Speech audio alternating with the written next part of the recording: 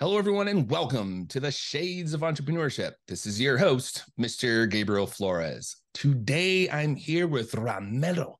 What's going on, boss? You're, you're now you're actually calling in from a different location other than the United States. Where are you calling in from right now?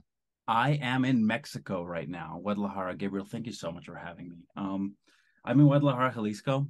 It's the uh, second biggest city in Mexico, and it's just a beautiful place to be. If y'all are ever down here, I'll have a great time. Yes, and so Ramiro, I'm really excited about this conversation because he is actually helping the Latino Americans, the Latin American uh, countries specifically, with their e-commerce. So before we get into all that, Ramiro, go ahead and uh, introduce yourself. Uh, tell us what you do. Tell us your company name. Totally. So uh, I'm Ramiro from GoAvance. Um, we, I don't know. I've been in the e-commerce space for longer than I care to admit. Uh, it kind of is a to me, it's it's a weird thing to dedicate your life to, but you know, ultimately, it's really fun. So been in the e-commerce space for about eight years. Um, worked at an agency for a long time, uh, helping other, you know, helping people sell a lot. And then it kind of felt weird, like, why am I not selling a lot? Like I'm helping everyone else. Um, so we like eventually decided, hey, let's let's get let's look at Mexico and let's see like what the market looks like. Cause I'm here and I'm, I'm look, there's a lot of trends that we'll get into in later, but um we realized that uh, there's just a huge e-commerce market space in Mexico, and we started going after it. And now I am selling, which is nice. Uh, it's funny how uh, you learn uh, to get really good at something by working on it for other people, and you go like, "All right, now it's time to do it for myself." You know, and I think this is an experience that is very universal for everyone. Um, but yeah, uh, engineer by by uh, school, not by trade, marketing by trade. You know, and um, yeah, just feels good to uh, to be doing something that I like. It's it's a weird combination of uh, problem solving and also creative thinking, right? I think we can all relate to everyone in the e-commerce spaces, uh, and everyone in the entrepreneurial space finds sort of like that balance for themselves. So, yeah, a little bit about me. I do a little bit of everything. I like it. I like it. You know, one of the things that uh, you you seem to have a very unique experience because you're an engineer but then you said you're marketing by trade, but you're also a co-founder, right? And then you you actually mentioned before we got on the show, you actually went to school in the UK before coming back to Mexico. Yeah, a little bit about that funny. experience. So uh, the UK will always have a, a, special place in my heart. Um, I haven't been back in about four or five years. Um, but you, I built a family there. You know, I built like my my friend group and like people that you live with for for years and so on. Um, but it was definitely a shocking experience. Even when I go back, it's a little bit of a shocking experience because I come to Mexico, and it's almost like taking a step back technology wise. Um, so 2012, we were already ordering our toilet paper on Amazon, and then I get back to Mexico in like 2017, and it's like, do we trust like that it will get to your house? And I was like, oh, we're we're behind, right? And this happens with everything. I went back to the UK about four or five years ago, and they looked at me like I was a monster because I had cash I was like, oh, I owe you some money. Like, obviously, I'm international transfers. I'm withdrawing money, right? And I'm like, here you go. And they go, ew, this is all contactless now. And I was like, oh, I'm behind. And now we're catching up. Now we're starting with the contactless in Mexico. But um, it really has led to sort of uh, the way I say it is like it expanded my panorama or expanded the, the vision that I sort of had for for business and entrepreneurship, just being in different places, being exposed to all kinds of different ideas. I lived in Indonesia for two years, and I noticed um creative solutions to uh um traffic. You know what they do? They just do motorcycle taxis. You get a motorcycle, they come to you, you sit in the back, they give you a helmet, and you zip through traffic. I come to Mexico, I'm completely stuck in traffic, and I'm like, why is no one giving us a motorcycle to sit on the back of? You know, so being exposed to different cultures and different, you know, sort of parts of the world will always sort of expand that that view you have. And the UK was just instrumental to me getting anything done. I would say to where my life is currently yeah, that's that's no, I think that's a great point. You know, one of the things I try to encourage folks is is to travel because travel opens up your your vision and perspective to so many different things. I mean, that's exactly how Starbucks got created, right? A trip to Europe, right, and is recreated into a, a massive, a massive organization. Now, one of the things you also talked about was Amazon. In fact, one of the things you've done is you've helped massive growth, right? With with with over 50 different companies reach seven figures on the Amazon platform walk us through that. How do you help some folks? Oh, I love this. Oh, you're getting right into yeah. into we're just jumping into it. I, meat, I like meat it. and potatoes. Um, look, Amazon has become a I, I like to call it a PvP market. Anyone that's in either trading or video games will know PvP is per player versus player. Um, and the, what I mean by PvP market, it means the the pie isn't growing as fast as it used to be, which means every sale you get is a sale that your competitor isn't getting, right? Whereas where uh, when the when the market's expanding, we'll we'll be able to catch new consumers coming onto the platform right? And it, it's a much easier sell because there's no brand loyalty, because they're open to exploring and so on. So Amazon over the past couple of years has really shifted from this SEO focused, you know, make decent enough images on Fiverr that we no one really likes and just pump ads into it to no okay hold on let's be strategic. Let's look at your business model. Let's look at the communication. Let's look at the actual like from a marketing standpoint what story are we telling in the limited now it's nine but no one's going to click it. So the limited five six images that we're actually going to get across to the consumer how are we making our text actually readable? Because all of us have bought something on amazon without reading the bullet points. Because are you joking? You gave me a 500 word essay to read and this is an impulse purchase that was seven dollars that I just needed. I'm not going to do this research, you know. So really taking this approach of treating it like a legitimate business outlet, a legitimate, um, uh, let's call it like another retail outlet, right? Um, rather than oh, this is just where we kind of put our stuff up and let it sell, is just I think where where a lot of sellers are faltering. Um, where it's no longer oh well i found something on alibaba. Look and that will work. That will work for a lot of people. You find the right niche good for you. You you did your research beforehand whatever. Good.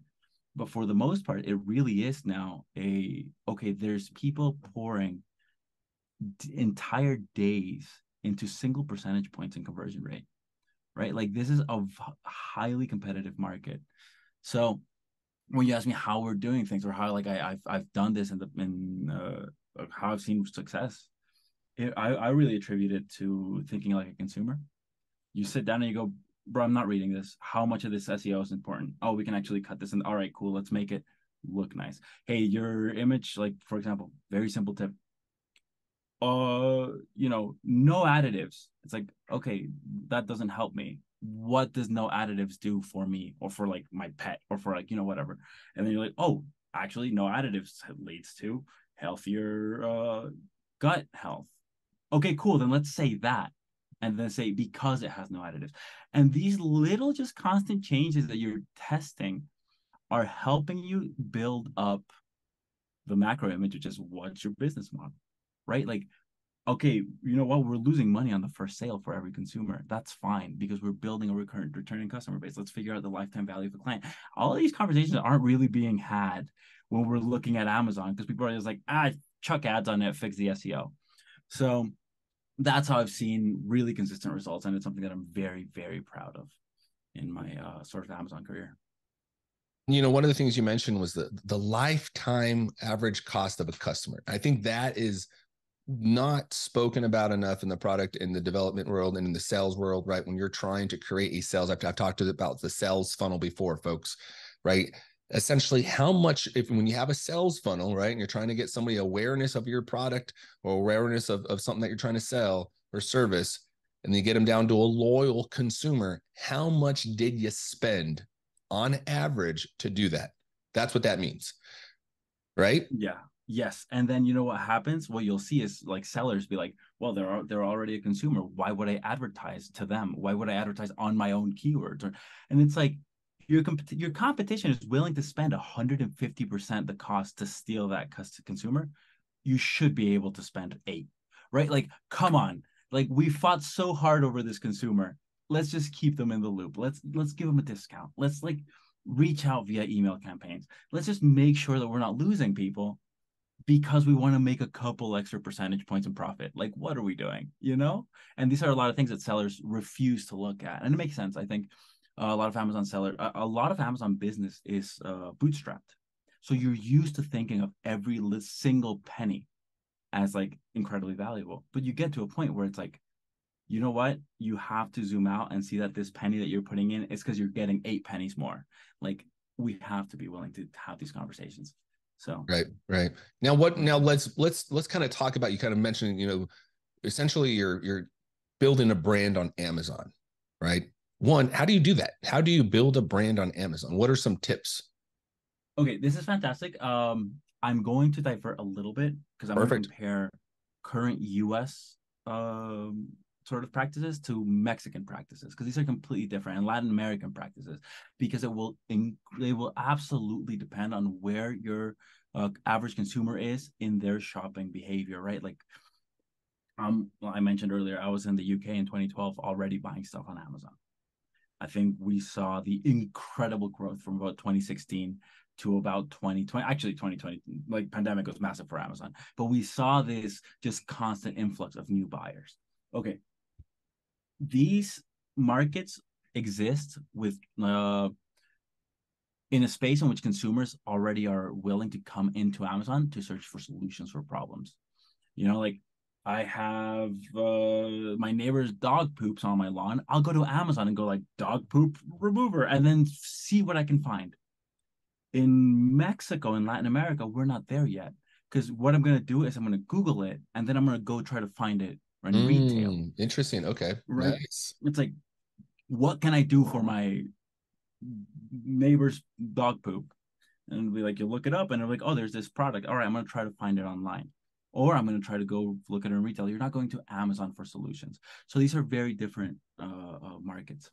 In the US, uh, look, you gotta you gotta make sure that you're sure the branding, the design has to be very strong because it's uh, it's sort of the mentality of uh, of retail. If you pick up my product, I'm already halfway there.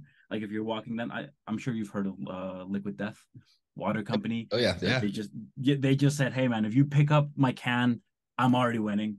Um, that's a really strong sort of initial approach. But then also treat consumers like just shout at them. This is why this product helps you, and it's what I was saying earlier. Like, uh, I sell I don't know dog treats. Let's use the same example. You know, this dog treat is a single ingredient. How does that help my dog? I'm not entirely sure. Well, I've actually dedicated six uh, images to show you why this is mm. better than, you know, healthier teeth, uh, shinier fur, like all these things. And you go, oh, those are the things I want. That is a solution that I'm being sold, right? When you combine that with really great design, and then you just you you make sure that the SEO instead of stuffing it, you go, all right, what are the top keywords that are probably going to help me? Cool. I'm going to chuck them in and then make it a little readable because I'm already going to spend on ads. I'm already uh, I'm already going to get the people in here. I need to have them convert, especially the Amazon algorithm has evolved to be like, listen, you convert, I'll get the people to you, right? So when you start sort of playing around with this, um, you start building a really strong brand that you can actually transition. I've worked with people that have used the Amazon success to uh, leverage retail deals, to leverage Shark Tank deals, to leverage because they can go in and go, hey, look at what we're doing on Amazon. We're already halfway there. Um, whereas in Mexico, it's completely different. In, in Mexico and Latin America, it is all right. We have to do all of this, but also we need to be indexing on Google. We also need to be reaching out to social media uh, influencers. We need to be communicating that it's not only, hey, you want this product, but you want this product and you can get it online. And right now it's a little bit tougher, but luckily the competition is so low that it's very easy to be getting those top spots. So our our uh, sort of um our gamble isn't, you know what, right now we're going to be uh the biggest cash flow driver for your company, but it's we're setting ourselves up to grow like the US did over the past, you know, 10 years.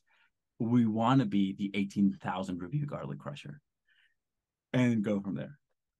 Um, but yeah, it's a, you know, that's great. beast. Now, what would you say? Because, because you, you know, you're mentioning there's two different targets now, right? We have the Mexican target or the Latin American target, right? And we have the American target, right? They're all Americans, but just remember that, folks. We're all Americans, right? But Latin American, American. Yeah. Okay. Now, with that said, what are some of the challenges that you see, you know, kind of for a, a foreign brand either building into the United States or vice versa? Oh, okay. I have a question for that. Would you because there's two approaches. There is consumer behavior and what makes that diff- difficult, or there's a literal logistical bureau- logistical bureaucratic challenges. Um, do you want me to go one, both. Let's let's either. go with the consumer right first. Totally. Actually, let's go with the bureaucratic because I want I want to say let's just let's just rip the band-aid off because at the end of the day, this is the folks. This is this can probably be more valuable right now. Yeah, uh, to listen to that. So let's do that part. Totally. So here's what's gonna happen for most brands trying to sell in Mexico. Um, I, I, keep saying Mexico rather than Latin America because Mexico is right now our biggest focus, uh, and Latin America is a little bit just it's going to be a little tougher. And I don't think any American sellers should be shooting straight for Brazil, right? Like there's just a there's a little bit more uh, cost involved. Um, here's what most brands are going to experience. Hey, the remote fulfillment program on Amazon is is available, and they'll test it out and they go, ah, Mexico doesn't sell. It sold like four units. Eh, whatever what you're not seeing is the thousands of consumers coming into the platform and going, "Oh, it's delivered in a week. I don't want that." oh, I have to pay uh, 150 pesos delivery plus taxes. Like, I'm not interested. This isn't the price you gave me. And the other thing for people that are actually um, taking this into account and dropping their prices and being uh, competitive, then they go into Seller Central and then they'll see uh the fees that Amazon's taking for remote fulfillment and you go oh that's also not worth it for us. Um so that will be the generally like 90% of the time the first step into Mexico. You see that and you go okay let's try to uh send to FBA why? Like it makes sense. We can get a pallet ready freight freight forwarder get it into Mexico City. What happens then is Amazon goes absolutely here's your ship. Let, let's create the shipment. Can you just real quick give me your tax ID? and that's where a lot of sellers go, oh, uh, I don't have one. Um, and then that's where a lot of the the project falls through. And I would like to preface this by saying, for 90 99% of sellers, uh, getting a tax ID is probably not worth it. Um, again, we're not at the point where the volume is there to where the headache, the thirty thousand dollars you're gonna have to put into building a, a, local business entity, finding the accountant to comply, finding the legal representative, the all this, like getting documents apostilled and sending them, over, like it's it's realistically not worth it. Which is why like we are doing what we're doing, which we can talk about later. But so a lot of projects just sort of die there where it's like you know what uh, we looked at mexico and this conversations that we're constantly having it's look we looked at mexico wasn't really worth it. Of course it's not, because the barriers to entry are huge and you don't even know how your product will perform. Right? I talked to someone that went through everything and didn't get an accountant. So he never, never uh, filed taxes. Oh, end of the year no. comes around. Yes, yes. Oh, end of the year oh, comes around. No. He gets hit with a tax bill. He goes, I didn't even make this much money. What can I do? And I was like, you kind of you go back in time. you do things right, you know? So it's just there's too many steps in the way, I think, for for your average seller to even be considering it, which is a shame because again, our business started because I'm in Mexico and I'm like, there's so many brands that I can't get exactly because of this, you know? Um so that those are some of the logistical challenges you'll run into. Like, look, just an example. We set up a business entity and it took us two months to get an appointment at the tax at the IRS. It's it's it's SAT in Mexico. Two months. Because they wouldn't give us a date. They're like, ah, we're full, we're fully booked. We had to pay someone to constantly refresh the page until it was uh, available slot and then put us in. And I was like, hey, uh, the meeting's uh, in 12 hours. It's like, oh my God. I we just like got everything together and ran, you know. Like I literally, I got an 11 a.m., uh, 11 p.m. text going, "Hey, your meeting's tomorrow at, at 11 a.m." And I was, "Oh, oh, you just put all the documents together, together, and ran in." Right. So, it's not realistic to expect sellers to want to, you know, like it's it's a great opportunity. It's honestly like Mexico's going to in for the next 10 years is going to be incredible, but it's it's not realistic to expect people to go through that. And then you come in, and then uh, we haven't talked branding yet, but you come in and your branding's not working, your consumers aren't there, the traffic isn't showing. CPC is 80% cheaper. That's amazing, but you're not converting. And it's just so frustrating because the value is there and it's literally just, it's like having a USB C and then just having like only USB, like traditional, like, you know, to plug in and you're like, oh, my, I need a dongle. Like, you know, and that's I think that that kind of analogy is a great example of how you build a brand too, right? It's like you just essentially you basically were able to uh, create an analogy that everybody relates to about a problem that everybody has, but that's completely completely different from the actual situation that we're talking about, but it's pretty synonymous as far as like the issue, right? Yeah. Everybody knows that dang that damn dongle uh, another great example, because you kind of mentioned brand um, and kind of building that, is that AT and T commercial. I absolutely love that new AT and T commercial. When they talk when they're on the airplane and they're talking about all of the things individuals go through on getting an airplane and like oh yeah you have to spend extra money for this and then you have to you know the extra cost for food and extra cost for water and AT&T is like you know we don't do that here. And it's like everybody has that same feeling. Again two completely separate industries right but basically creating a story about a pain point that they're solving for you. You know, yes. now one of the things uh, Ramiro you also mentioned was what things that you guys currently do in Mexico. So we'll get back on the brand piece here shortly, but things that you currently do in Mexico, right? To to really kind of grow because you were seeing so many of these issues with the Amazon fulfillment and all these other things. So what is it that you guys do? Oh, we okay. We basically looked at this and said, the barriers to entry are way too high. Ultimately, barriers to entry me are, are good for businesses in general. It's fundamentally anti-competitive behavior, sure, but it also is opportunity like spaces where you this, I can solve this and help people. Um, and this is sort of our, our mentality is like, what are we solving? How are we helping people? Um, we realized that we can do it all. Once you build out, once you go through that giant hurdle of setting up, you're kind of just set up. So we figured we can help brands get in by us acting functionally as distributors. Like distribution is not a new business model. Silk Road existed, you know. this is not a new uh, idea. But we said, look, ultimately, Mexico is an unproven market. Latin America is an unproven market. But you know what it is also? It's 666 million people like spread across like 20 countries or whatever 22 countries i believe. Oh my god i'm gonna sound so ignorant. No i scratch that. Across a some amount of over 20 countries. Um and it's okay This there's this giant uh sort of gold mine of, of value that we can provide because we're really coming at it from not even for our clients. We're looking at this from the perspective of how are we helping consumers improve the, the consumer experience right um, so there's this giant gold mine of value that we can be providing um, if we can just figure out the right keys. So we had to set up a whole logistical logistical infrastructure to be bringing stuff in from the U.S. into Mexico, uh, and then a whole logistical logistics infrastructure to be delivering products uh, taking into account that we have two marketplaces, so FBA isn't really feasible for us because we have uh, Mercado Libre as well, doing more volume than Amazon. Um, and then it was like, but yeah, okay, great. You did the importing, you did you did the labeling or the approvals, like so. Oh, because we also handle approvals. Um, you know, like if it's a restricted product, what do we need to do? What do we need to do on our end to be able to sell it?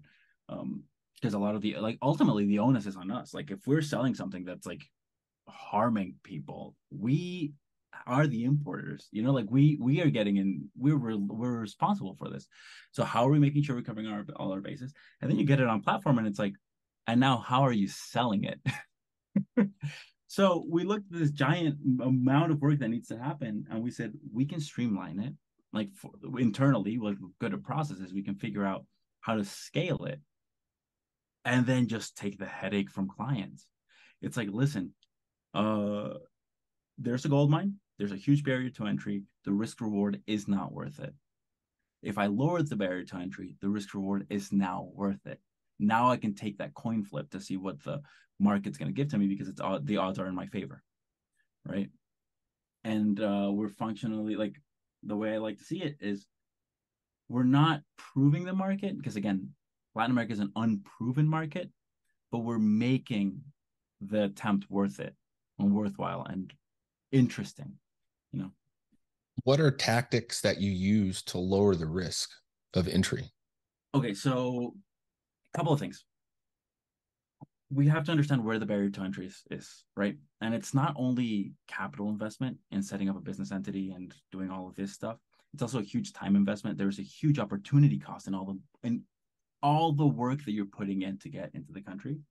And then there's of course inventory uh, opportunity cost or inventory risk, where it's like, all right, now I have this, I'm getting across the border. This is something I've never done before. How do I make sure that it's safe? And even then, what do I do if it doesn't sell? So the three just add up to a little bit too much. We've cut the capital investment by, you know, 90% because it's no longer this like $30,000 to get in. It's like, hey, we have a simple setup fee to make sure that we're covering all of our bases and then we're good to go.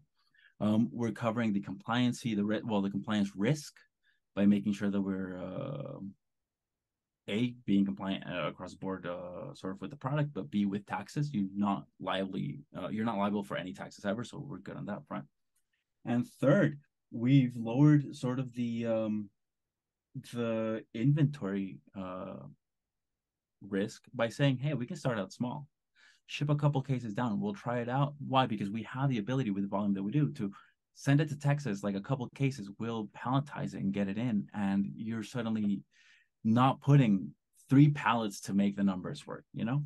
So across the board, the idea was like the risk cannot, well, no, the reward is there. How are we making that risk? I, I, I traded for a living for a long time. If you, which I, I hate that I talk like this, but how are we, how are we minimizing this risk risk to make the trade worth it? You know?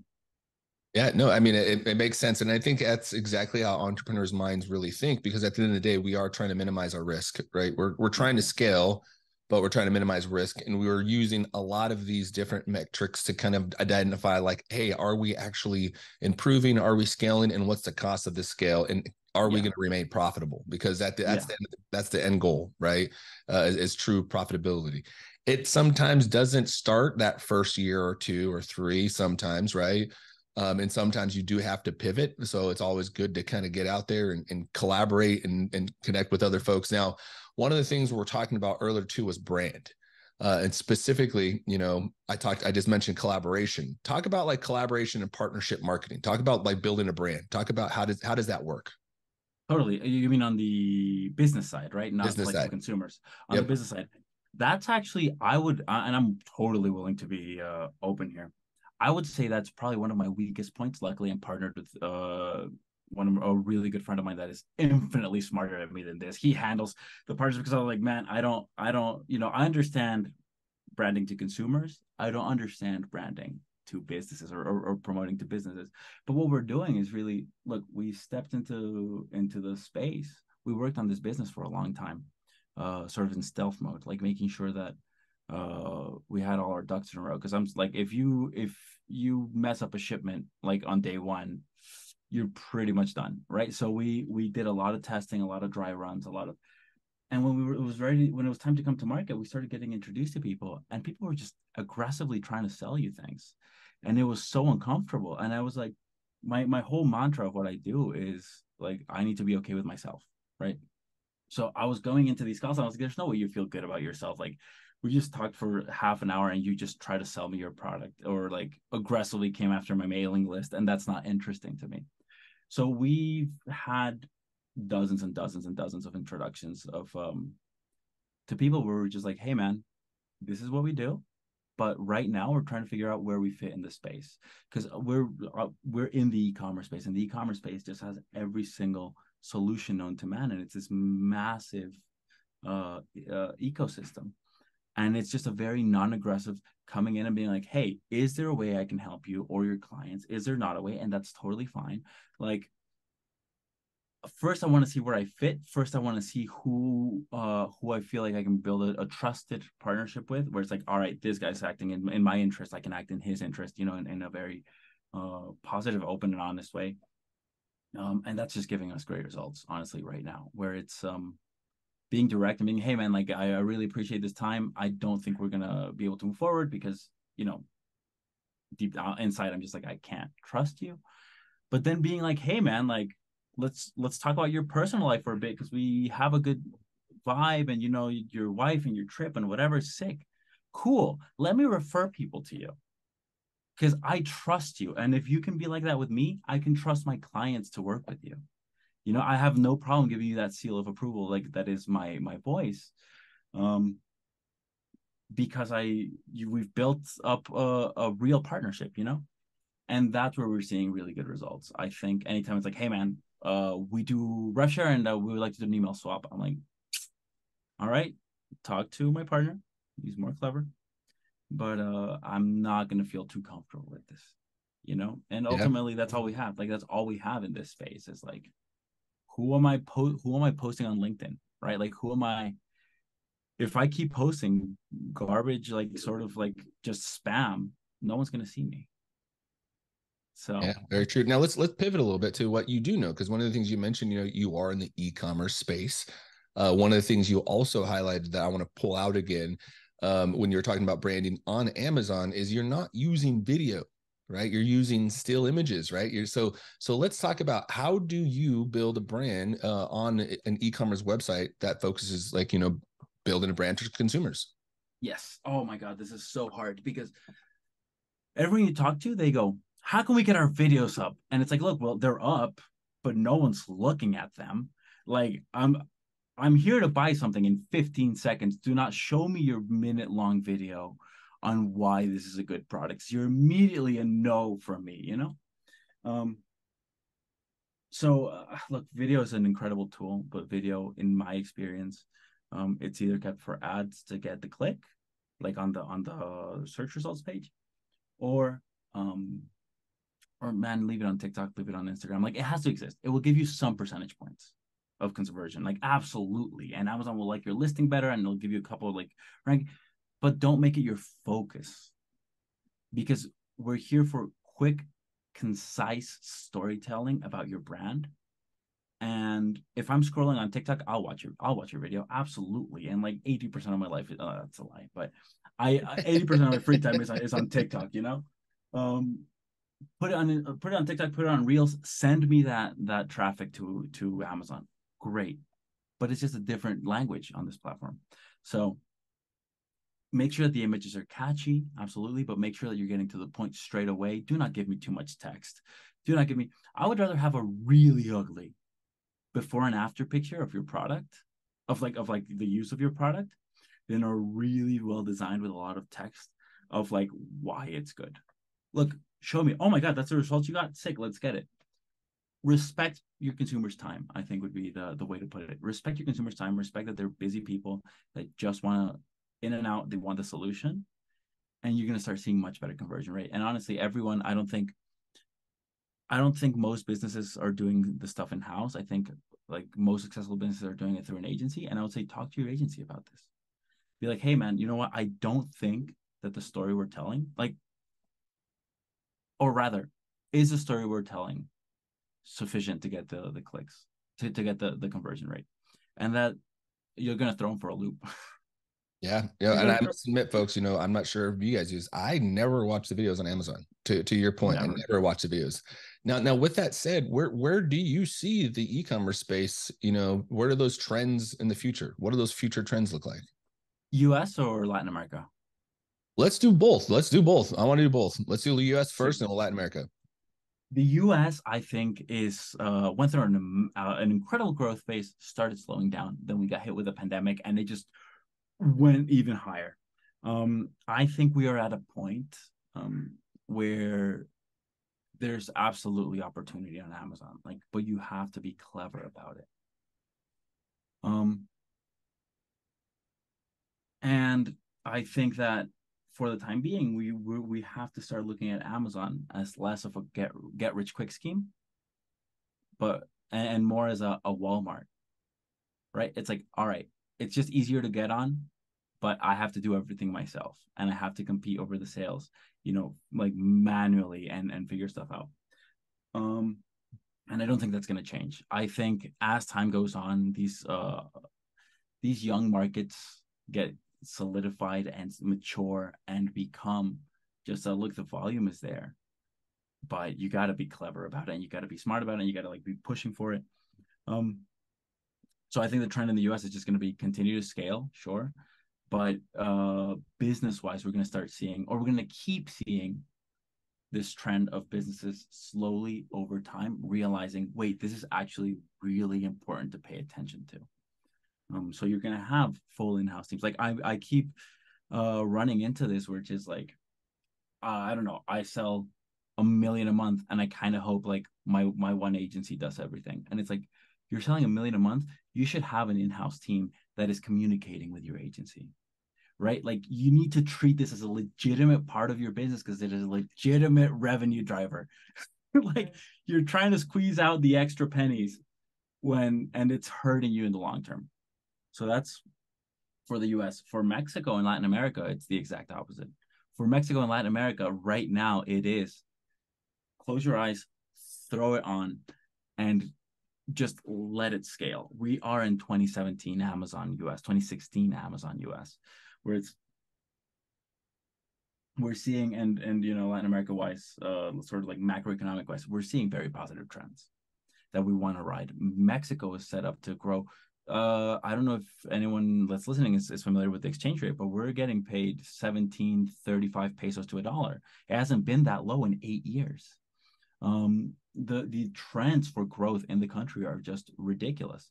Um, everything from proximity like close uh, proximity physical land border to the us meaning we overtook china as the us's number one trading partner. Uh, remote jobs flooding dollars into the market. Um, like there's just so many things like interest rates. Like right now we we have an 11.25 uh, interest rate in mexico and yet we're not slowing down. So it feels like mexico is set up for a very very strong uh, next five to ten years and uh, when we compare that, when we add to that the strong digitization of consumers that are slowly flooding into the platform, right now it is a growing pie. It is not a PvP market. Right now it is a, I need to be in, I need to be setting up. I don't expect like we're gonna like what we're seeing on average for clients, our Mexican sales are 11% of your uh, US sales, which you're like, all right, I'll take a free 11%. Sure. Like, why wouldn't I? But the question is, where is it going to be in five years? And why are you not acquiring those consumers right now? I'm very excited for Mexico. Yeah, no, I was actually down in Mexico City, uh, you know, a couple, maybe last year, I think it was. And oh, it, beautiful. I tell you, man, I I love that place. It was awesome. Uh, folks, don't sleep on Mexico and don't don't listen to what they're saying.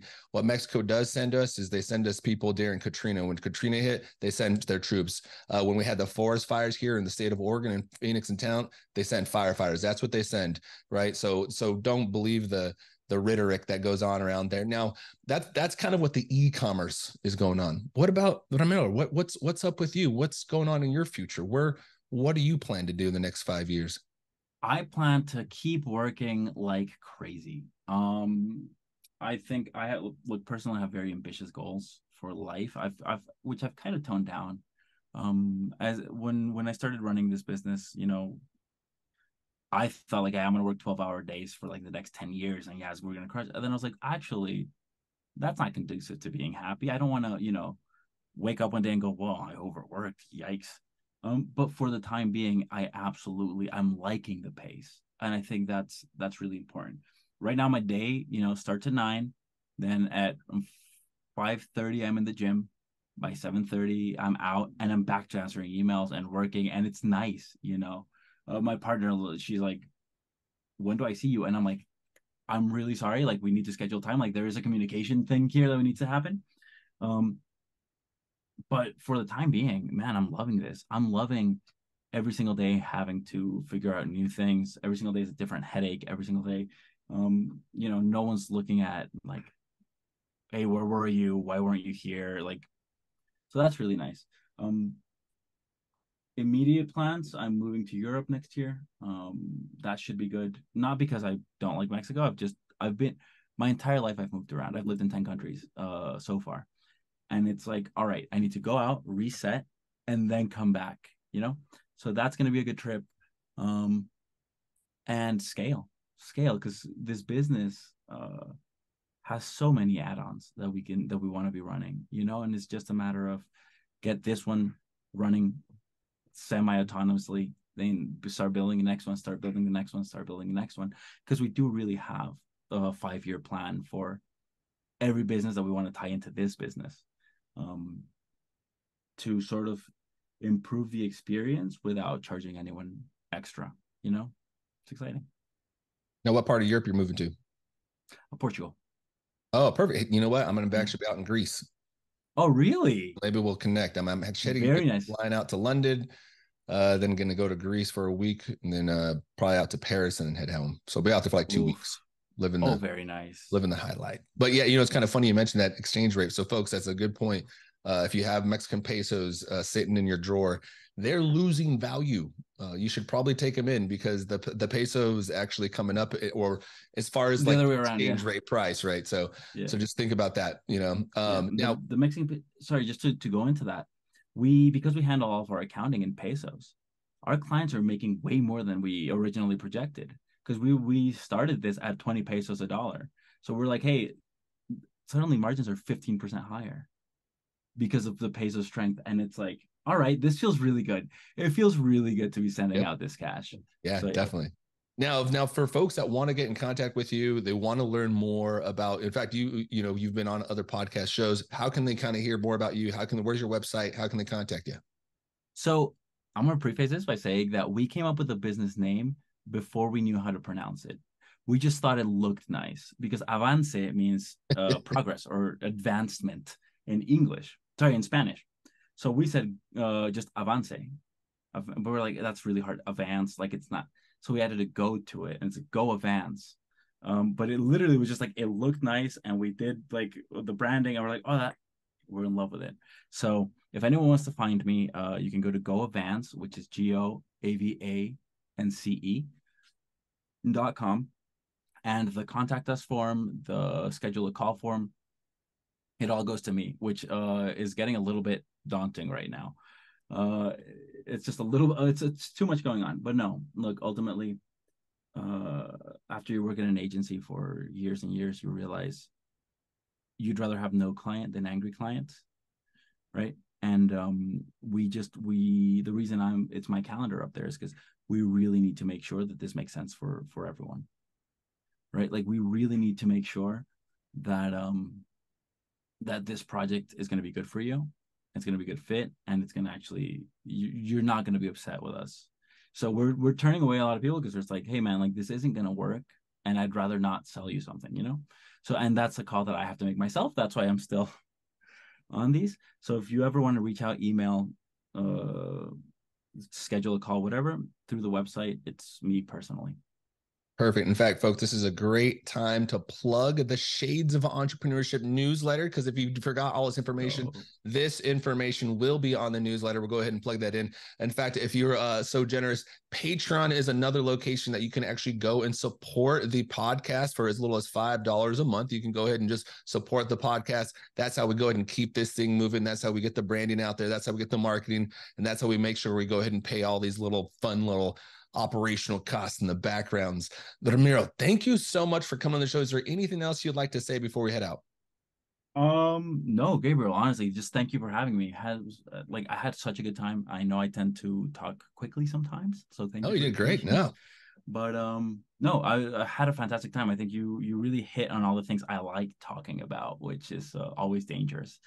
Uh, Oh, it's perfect. Well, Ramiro Velasco, thank you so much again for coming on the show. Really do appreciate it. We'll, I'll, I'll definitely hit you up later this year. Maybe we'll uh, connect out in Europe. So, we have folks, again, don't forget to follow me at the uh, visit at the shades of e.com. You can also visit us on Instagram, TikTok, LinkedIn, and Facebook at the shades of e. And you can also check out reels on our YouTube channel. So go ahead and uh, look up the shades of entrepreneurship on YouTube. And then thank you again, Ramiro, for your time time. Everybody else, have a great night.